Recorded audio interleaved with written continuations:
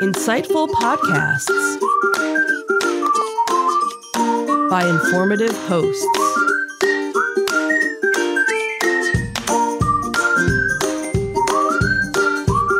Insights into Things, a podcast network.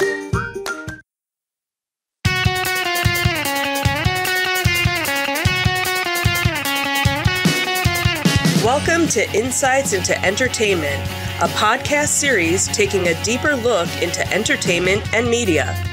Your hosts, Joseph and Michelle Whalen, a husband and wife team of pop culture fanatics, are exploring all things from music and movies to television and fandom.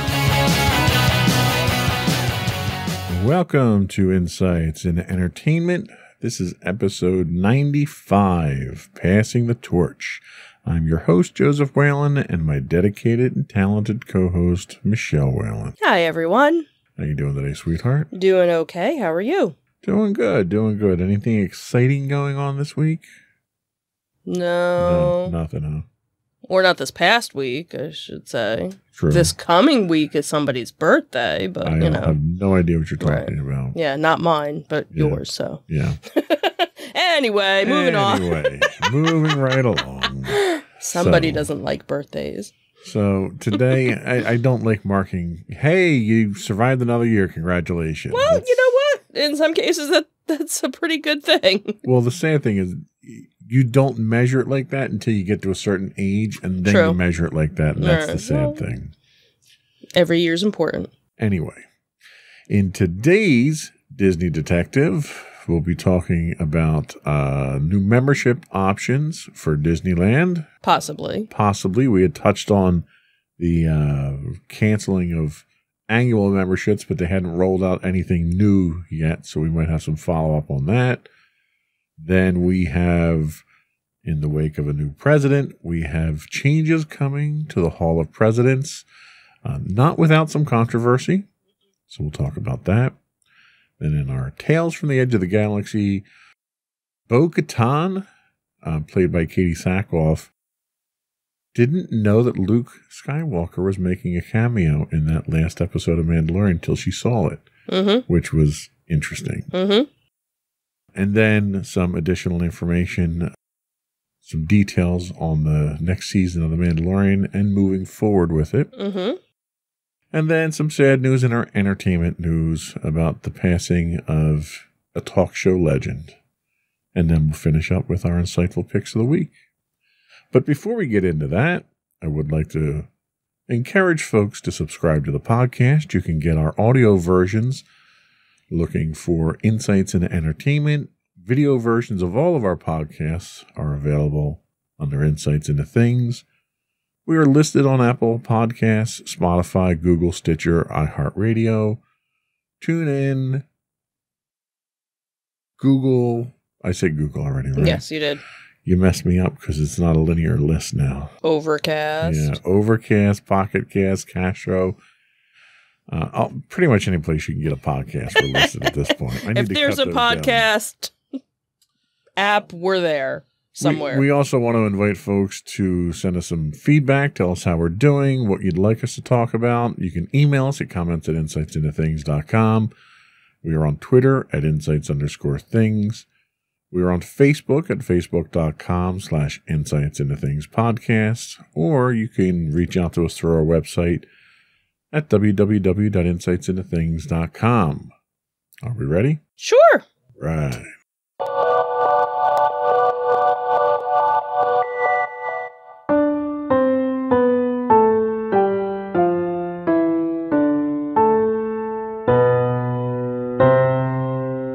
For Disney Detective. So, in the wake of canceling the annual pass holder program, Ken Potrock, who is the president of Disneyland, actually spoke to the Orange County Register about the resort's future membership options. Now, he really didn't come out and say much, you know, that was very specific.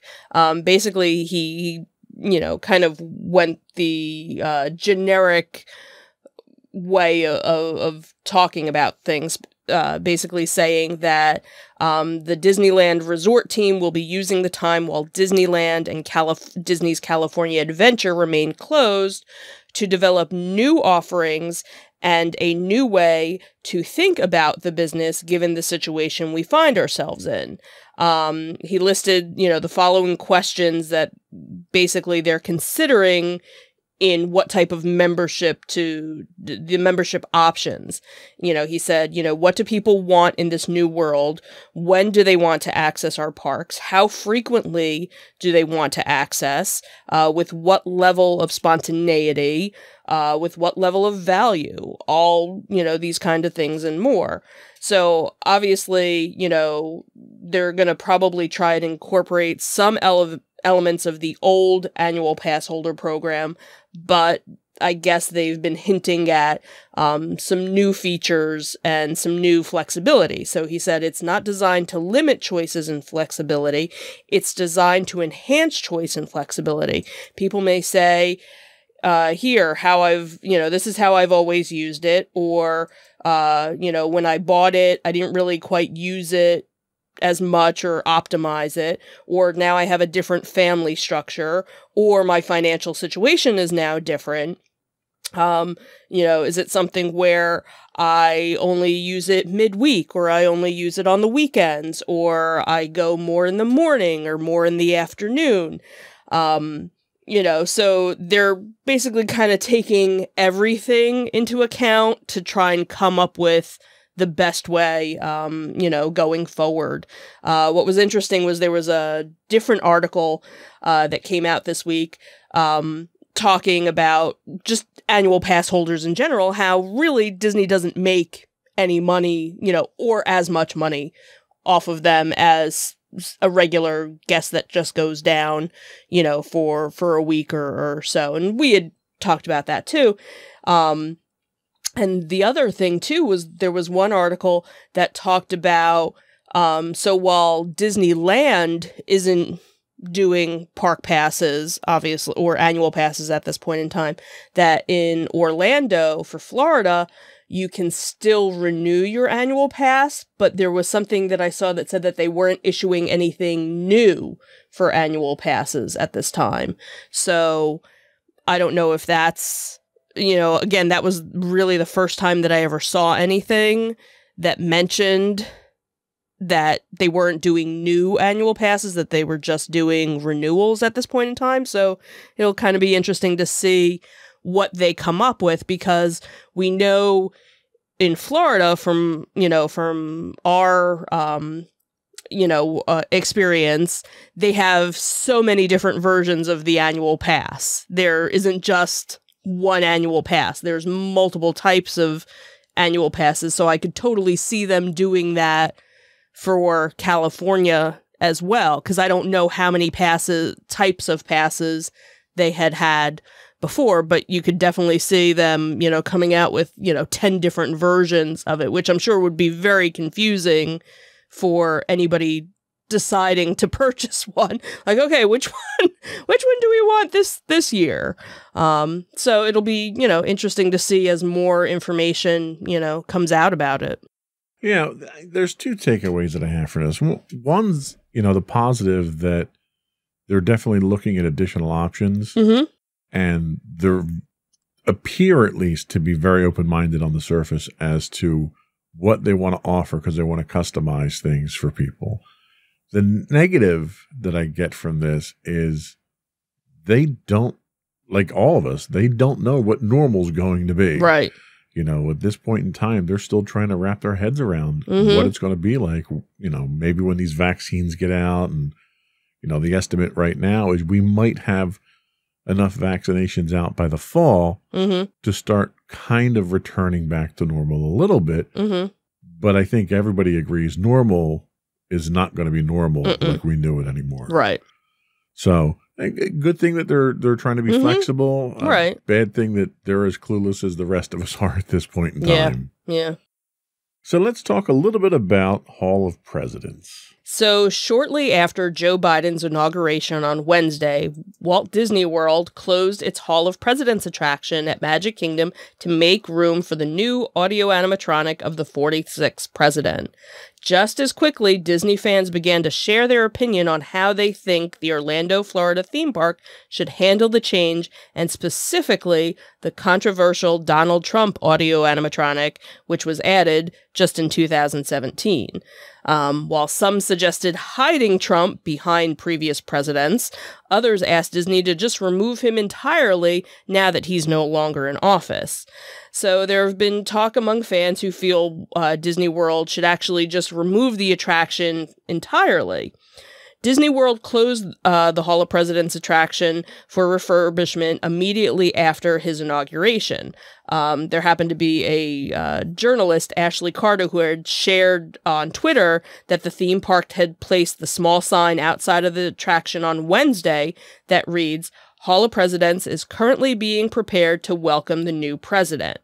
Now, it's currently unclear how long it will take Disney to create and install the audio animatronic inspired by Biden. But that being said, Disney fans have pointed out that the theme park was much quicker to install the figure of the 46th president than they were when they were installing Trump uh, years prior. It actually took them 11 months to install Trump's audio animatronic, which honestly looks nothing like him.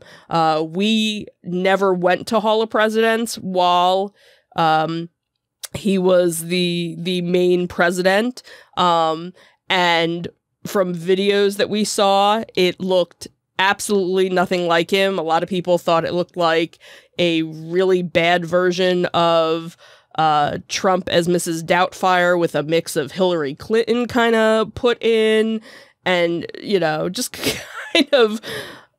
You know, it was almost Disney's way of kind of poking fun at, really, because any other president that has been, you know, in power and been the spotlight of it has always looked and acted and sounded like you know that current president um so obviously hall of presidents if you're not familiar it features audio animatronics of all the past presidents but only those represent uh, representing Abraham Lincoln, George Washington, and the incumbent president of the United States actually give a speech during the stage show.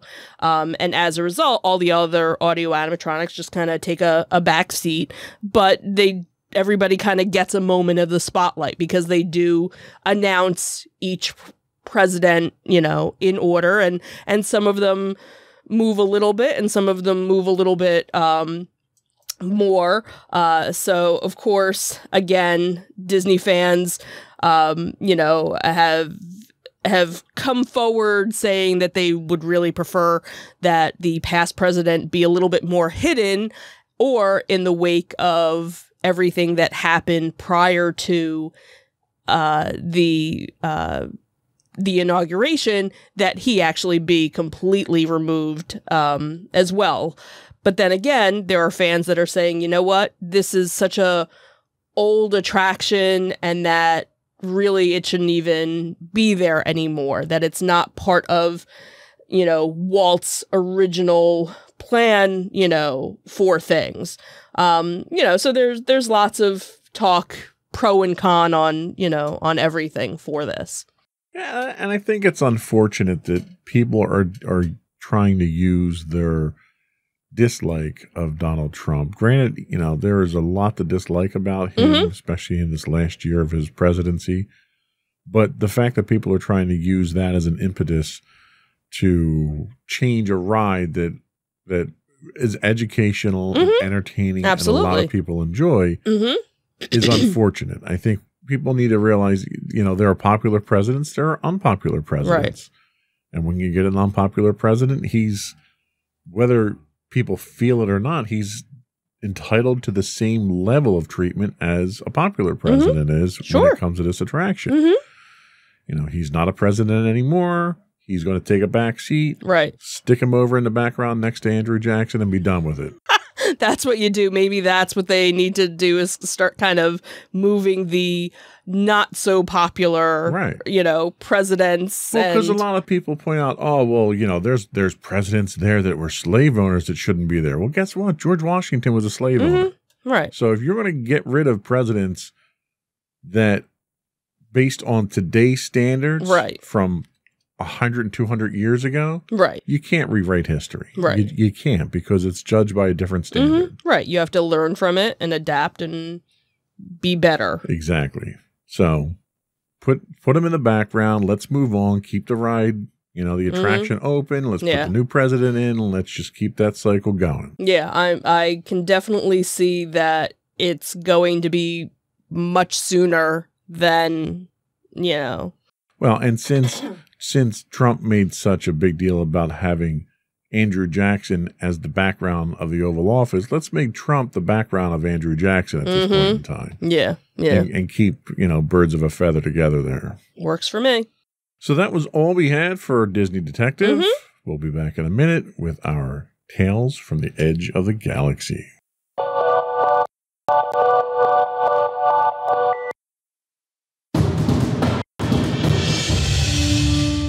For seven years, the Second Sith Empire has been the premier community guild in the online game Star Wars The Old Republic. With hundreds of friendly and helpful active members, a weekly schedule of nightly events, annual guild meet and greets, and an active community both on the web and on Discord. The Second Sith Empire is more than your typical gaming group. We're family.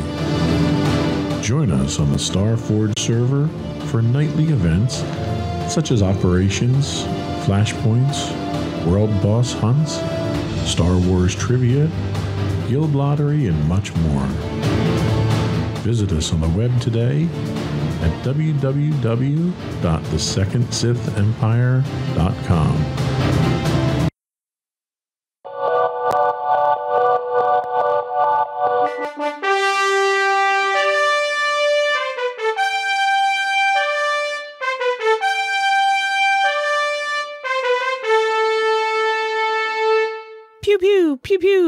Go for Tales from the Edge of the Galaxy. So the Mandalorian sophomore season was chock full of surprises, and specifically in the form of Luke Skywalker. While just about everybody and their grandmother now knows about the iconic Jedi's appearance in the Disney Plus show, it was actually revealed that this it was kept a secret for an, an entire calendar year. And now it appears that not just the fans were in the dark about it, but that also some of the actors that were directly involved in the big finale didn't know it was him as well. So, Bo Katan actress Katee Sackhoff had revealed that she didn't know the identity of the Jedi that would appear in the Mandalorian season finale until the episode actually aired on Disney Plus. She said, I didn't know until I saw it with you guys. I just didn't know. They didn't tell us who it was. There was an actor there with dots on his face. She says, I'm, she says, I kind of put it together, but at the same time, I thought to myself, they wouldn't, they would have let us know, right?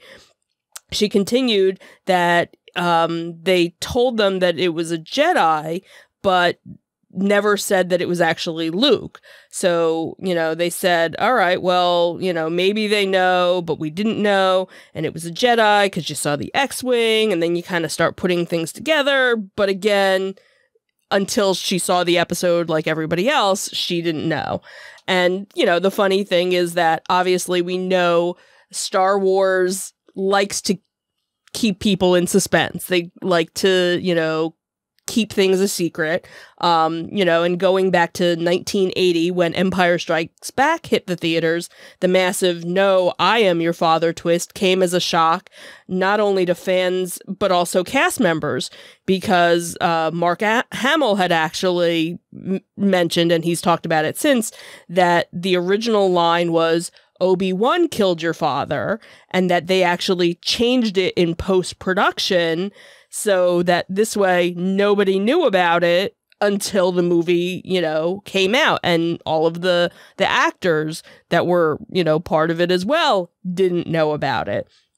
So to kind of, you know, see that they're still kind of keeping this going, you know, is a, a nice little treat. And obviously, we've known that there have been all these little uh, things that people didn't know about, Baby Yoda being, you know, one of the other examples that until we saw the episode, we didn't know that character was going to be there. And, you know, and then the whole line of merchandise obviously was hurt in in some respects because of this delay. So kind of cool that again, you know, it was a, a secret that was well kept and, you know, because of the magic of CGI, they were able to, you know, pull off something, you know, really cool in the season finale.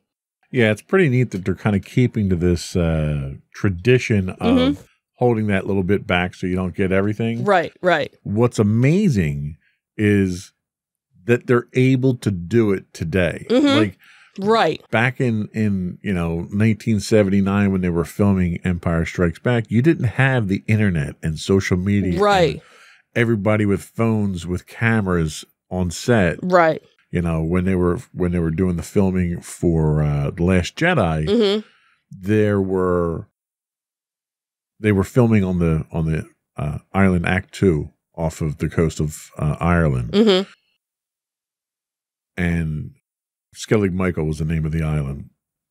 And uh, when they would t- get on the boat to get there, because you couldn't, they didn't have facilities to actually stay on the on the island okay. itself.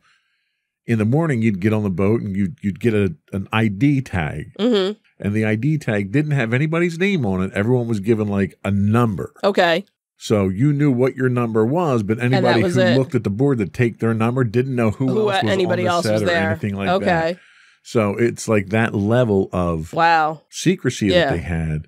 And you have to with this, you know, considering oh, yeah. how many people, because they've got everyone and their brother coming in for cameos mm-hmm. and everything on the show now. Right, right. Which I think is kind of interesting on the part of Jon Favreau, mm-hmm. where he's he's trying to include all these other fans of right. the show, mm-hmm. yeah, and bring them in. um, like you know, last season when they brought in the 501st mm-hmm to to fill in to when fill more gaps. stormtroopers. Right, right, yeah. So you've got that kind of exposure. You're you're not filming in these remote locations, right? So you're filming in a populated area. So it's really hard to keep this information under wraps, right? But it's it's kind of neat that they're doing that even for the for the actors that are participating. Right. Because, well. you know, the article talked about, you know, how for Empire Strikes Back, you know, like Harrison Ford didn't know about it, but he wasn't part of the scene. He wasn't on that area when it was going on. Whereas Katee was there. She was, right. you know, right, you know, well, 20 feet from him and had no with, idea. With Empire Strikes Back, the only person on the scene other than the director at the time that knew right was Mark Hamill. David Prowse, who mm-hmm. was voicing the original lines, because all his lines were dubbed over right, anyway. Right. He didn't even know. Right. So when Luke had that emotional outburst, right? They all thought it was genuine because it was, you know, Obi Wan killed your father, and right. You know, it wasn't until afterwards that they found out. Yeah, yeah, exactly. Yeah, so very, very cool. Mm-hmm. So we have some additional Mandalorian news. What else do we have? Yeah, so it seems, you know, obviously we're all counting down the the number of unknown number of days until season 3 debuts. Um, but it seems that Pedro Pascal had actually, you know, dropped, you know, a little bit of information. He was actually speaking with IndieWire and he confirmed that a, there will be a timeline jump in some capacity that'll happen in uh, episode th- or season three. He said, "I am told what happened, what's happening, and what the plan is, but I can't share it. Uh, they are in the expansion of this world, uh, and there are so many unexpected surprises and timelines that are going to be dealt with." Um, he said if the character were to cross over into these worlds, it'll be utilized in a way that isn't meant to be expected. I wouldn't want to spoil the surprise of whether or not characters from the show we already know are crossing over. So, kind of a teaser as to everything, but again, not really a whole lot is known. We do know that, you know, they're basically going to be having this whole Mandalorian saga, which is going to include the spin offs of Ahsoka and the Rangers of the New Republic, which are all kind of going to coincide, you know, run together with season three. And it'll introduce the animated series Star Wars Rebels World Between Worlds in the live action for the first time. So, you know, it'll be interesting to kind of see how everything kind of intertwines, you know, and and comes together. Obviously, you know a little bit more of that because you've, you know, seen all the different animated series and and uh, whatnot. So you could probably talk a little bit more about where you possibly think it could go. Well, and that's the thing. The the one advantage you have with a time jump here is you've got so many projects they're juggling right now. Right. That those projects can be used to fill in those time gaps. Mm-hmm. And that's kind of the problem that we've had so far with the the sequel trilogy that came out was you had this huge 30-year time jump Mm-hmm. Right. and there wasn't anything to fill in the gap. So now you got Mandalorian and it's 5 years after Mhm. Jedi now. So they're going to jump another however many years. Right. Couple years maybe. You've got two or three more series that are coming out that are Mhm. going to fill in those gaps in there. So you're start going to start getting a cohesive picture moving forward from Return of the Jedi, which is very nice to, to hear them laying it out like this. Mm-hmm. And then you have the fact that we talked last week about them bringing Heir to the Empire into the right. canon. Mm-hmm. So all of this is very much likely leading into All of that. that that Thrawn trilogy that we're Mhm. going to see at that point in time because they're all little bits and pieces that you're going to add together to to fuel that epic adventure Mm-hmm. That starts with Heir to the Empire. So it's a very very good outlook there. I was concerned when they announced all the shows that were coming out Mm-hmm. because they didn't give any details. Right. Now with a, a time jump here and this piece fitting here and this other piece maybe fitting in here to explain some stuff, all these shows now make sense. There's Right. a place for them now with this right. time jump. There's this whole, you know, timeline that was kind of laid out showing this is this, this is this, and Right. you know, and See, if you didn't do that time jump, then you're jumbling everything in Mhm. together and, and you're going to start having genres and characters and storylines that are stepping on each other. Mhm. You know, I could see them doing a five year, maybe even a 10 year jump right. and then everything else filling in those blanks there. Like I could see, you know, Mandalorian end it with the quest to go back. You know, he's he's taken up the dark saber. Right. He's taken up the mantle to retake the planet Mandalore. Mm-hmm. Now I could totally see the time jump happening after that struggle, Right. where he's there or someone else is there, and now we're we're moving on to the next Mhm. phase. Right. Uh, so it looks good. I mean, right now they're they're laying stuff out in a very organized manner to Mhm. to get to a larger. Right. Because Big again, you were very concerned hearing all of these different things that were going to be coming out where you kind of felt they were saturating Absolutely. everything. But again, like you said, because they're spacing things out and, you know, it, it's, I think, going to paint, like you said, paint that picture where the the fan that only watches the movies Right. you know doesn't understand what happened in that 30 year time frame between return of the jedi and the force awakens like how did we go back to evilness Right. and And the, the problem is, is they tried to do that, but they tried to lay it out in the novels and the Mhm. video games, right and the average fan's not going to Right. consume that. So unless you're Right. a diehard fan, you're not going to get the whole picture. exactly That's why the the television outlet or the streaming outlet here Mhm. is perfect for this because the casual fan will pick that up now, hmm right and you'll get that. And you can delve into the the minutia and the details and some of the character development in the novels if you want to, but you don't want the plot hooks to be in there. right You want the plot hooks to be out there so that everybody can see it and you can see that progression. Mhm. And it sounds like that's the direction they're going. And and as long as, you know, Favreau and Filoni are involved there, you've got my vote of approval. absolutely So that was all we had for Tales from the Edge of the Galaxy. We'll be back with our entertainment news in a minute. Mm-hmm.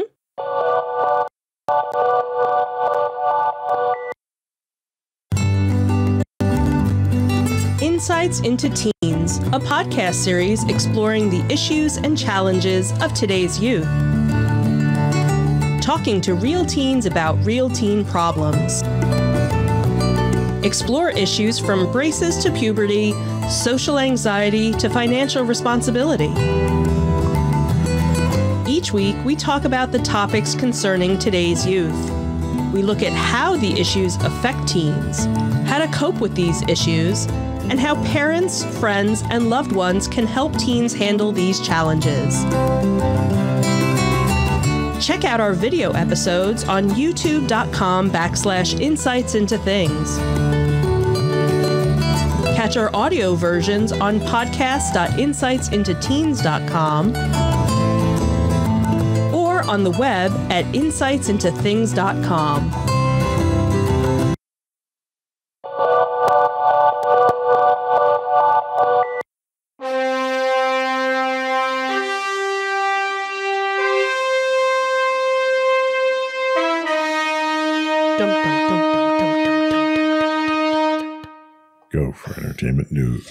Um, so we had some sad news that that came out uh, yesterday morning.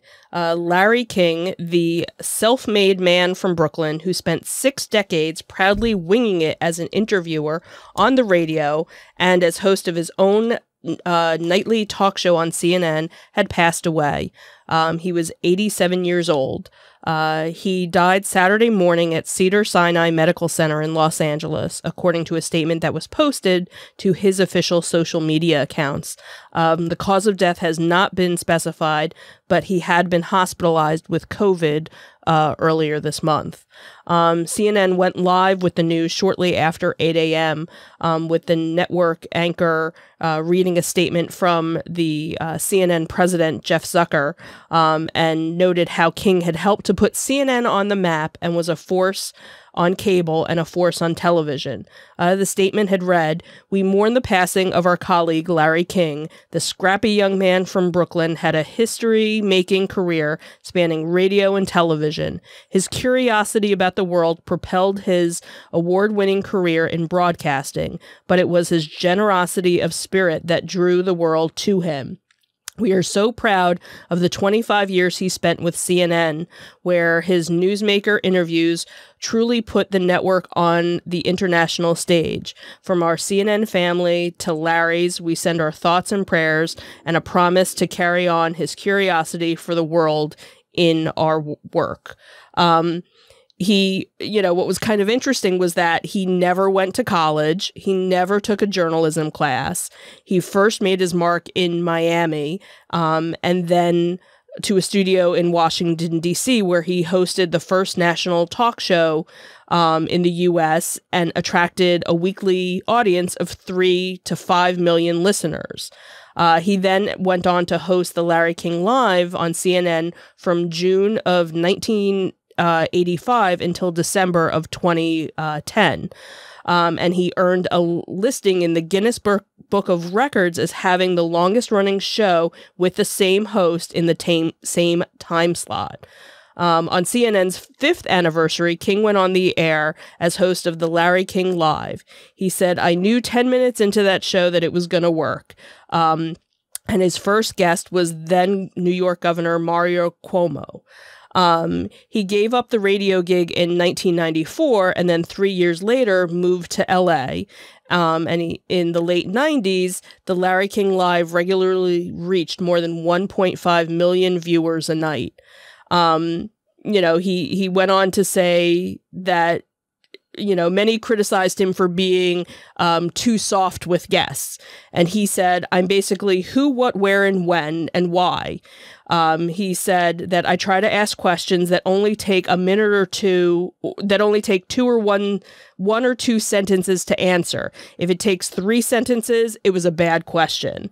He goes, I don't show off. I, you know, I don't use the word I when I do an interview you know, he always said, I was wondering, or let me ask you this. Um, and he would never go on air with the idea of embarrassing a guest or building up. You know, he said, I was always there to learn, you know, from the guest. Um, He's obviously interviewed tens of thousands of people from, you know, President Nixon to Vladimir Putin to Tammy Faye Bakker, um, you know, to Paris Hilton. You know, he's basically, you know, done it all. Um, you know, and he also took calls from viewers and, and listeners as well. Um, he had recovered from a heart attack in 1987. He was smoking three packs of cigarettes a day, but he went back on television and had lost some weight and, you know, because he had lost so much weight, his wife had suggested that he wear suspenders, and that became his trademark look um, back then. Um, obviously not only being on CNN and doing interviews, he obviously showed up many times in, you know, television shows and films. He was on Murphy Brown, uh, American Crime Story. He was in films such as Dave, uh, The Long Kiss Goodbye, and obviously kids would recognize his voice as Doris from three of the Shrek movies.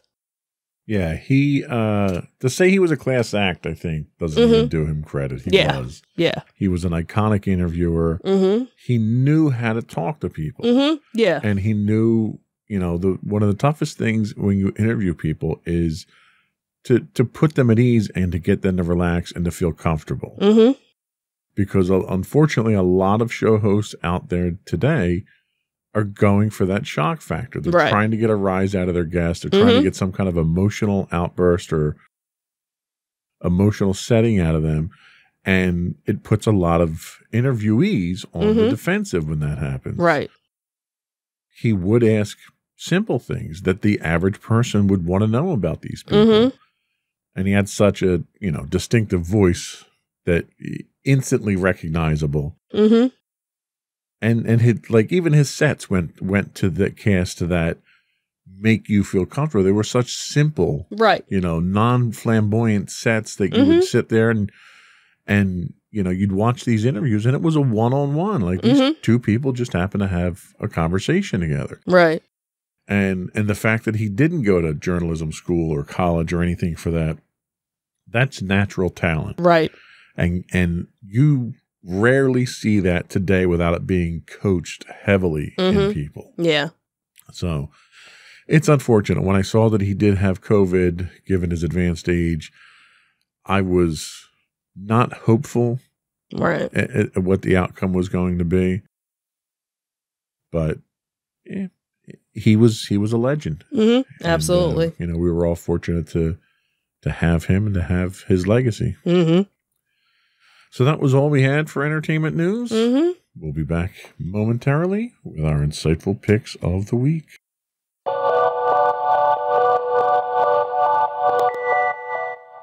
Go for your insightful pick. So my insightful pick was one that you actually had done a couple weeks back. Um, so now it was my turn to to give a review of it. Um, and it is the Amazon original, uh, The Boys. Um, when you had reviewed it, we were in the middle of season one, and now we have finally um, made it through season two. and fortunately, our heads did not explode. Um, so um so it, it talks about how you know superheroes are often as popular as celebrities as influential as politicians and sometimes even as revered as gods. But that's when they're using their powers for good. What happens when the heroes go rogue and start abusing their powers? When it's uh, when it's the powerless against the powerful pa- uh, super powerful the boys heads out on a heroic quest to expose the truth about the Seven and Vought, uh, the million dollar conglomerate that manages the superheroes and covers up their dirty secrets. Uh, the show is actually based on the comic book series of the same name. Um, this was one, again, that people at work had kind of talked about it. Um, we were kind of hesitant at first to to start watching it, and then um, it's one of those you kind of have to go in and go, this isn't Marvel, this isn't DC, this is something kind of completely different. And once you get over the first couple of episodes of season one, you kind of realize, okay, this is something different. Um, they're not afraid to kill off somebody in a quick second. Um, what it you know so if you can get past the goriness of some of the scenes and you know take in the story it's just interesting to to see a different take on things it kind of almost reminded me of i i can't remember what um what network the show was on and I don't think it it made it past its first season but they had come out you know because again all these Marvel movies coming out and all these DC movies coming out and there was this uh, sitcom that came out basically, you know, what happens in this world of superheroes. Like, who's doing all the cleanup? You know, when they come in and fight some supervillain, and you have all these buildings that are, uh, you know, destroyed, and all these cars that are overturned, and you know, basically, it was the idea behind it was kind of what happens when the cleaning crew has to come in and, and take care of things, but it was done as a comedy where seeing this it's almost that that same you know, aspect of that behind the scenes aspect of it, but much darker, realizing that you know now now you you realize in in season 2 uh, you know a lot more darkness th- that came out a lot more secrets that came out. And again the cliffhanger for for season 2 was oh okay, where are they going? You know, not everything is as it seems. Not everybody is on the team that you think they're on. Um, so very well done. Uh, the one thing that we need to kind of go back and, and watch now is they kind of had a um, after show show, kind of like Talking Dead. Um, you know was was the Walking Dead's um, companion.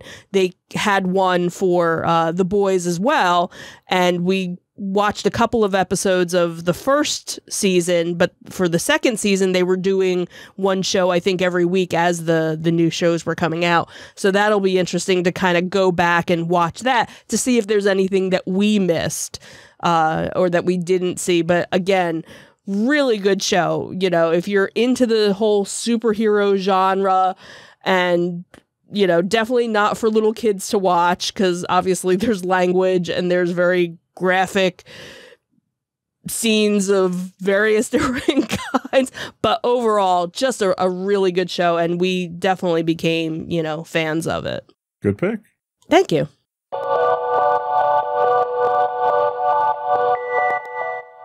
So my pick this week is a little bit different. It's not a documentary or a movie or TV show. It's actually a novel.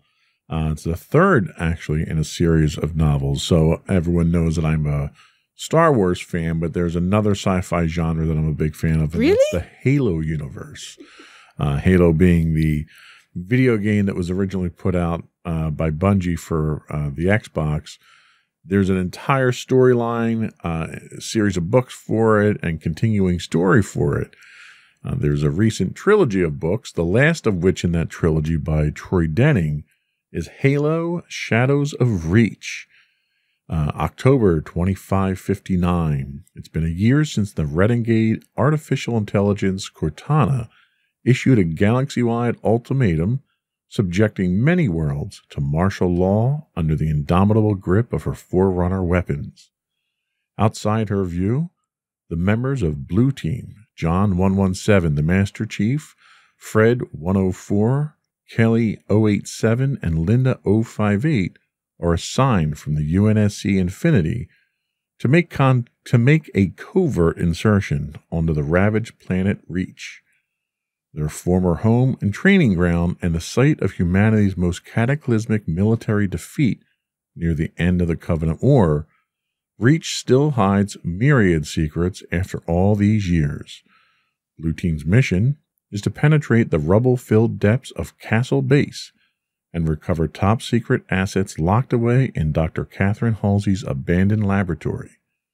Assets which may prove to be humanity's last hope against Cortana. But Reach has been invaded by a powerful and ruthless alien faction who have their own reasons for being there. Establishing themselves as a vicious occupying force on the devastated planet, this enemy will soon transform Blue Team's simple retrieval operation into a full blown crisis. And with the fate of the galaxy hanging in the balance, mission failure is not an option. So the book itself is the third in the series. It sort of builds to this crescendo. It's all centered around uh, John 117, the Master Chief from the video games themselves.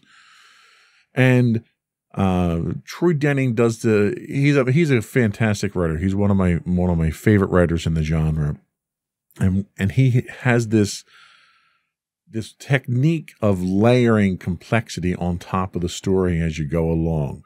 So every time you, you turn a corner and you think you're going to sum up what the storyline is, something else gets added to it and it complements everything that's come before it. Uh, so it's an excellent read. The whole series is an excellent read. I didn't review the other books because uh, I had read them quite some time ago. Mm-hmm. Uh, I may wind up reviewing those on, on the podcast moving forward, but Halo Shadows of Reach by Troy Denning available now. And we'll be right back.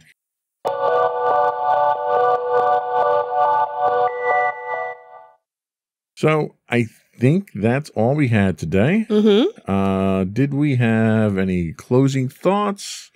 Um, did we? The one thing I did want to ask you about was what were your thoughts on the events surrounding the inauguration since we had such a celebrity parade that came out? What, what do you think about that? I think it was very refreshing, um, very unifying. Um, and you know, the other thing too was it was so different just that one day than the past four years have been. Obviously, we're not shy. We're not, you know, um, we're very transparent when it comes to how we felt politically uh, Sure, about. sure. And I you don't want to villainize Trump in this. I'm just curious Oh, what your thoughts were the. but just you know it, it was nice to finally see the country come together you know and and again it was a varied group of of celebrities. And the other thing too is even at the inauguration you know you had lady gaga who obviously very much a, a supporter of, of biden and was very outspoken about it. And then you had garth brooks who is a registered republican and he was even there. So it was just interesting to see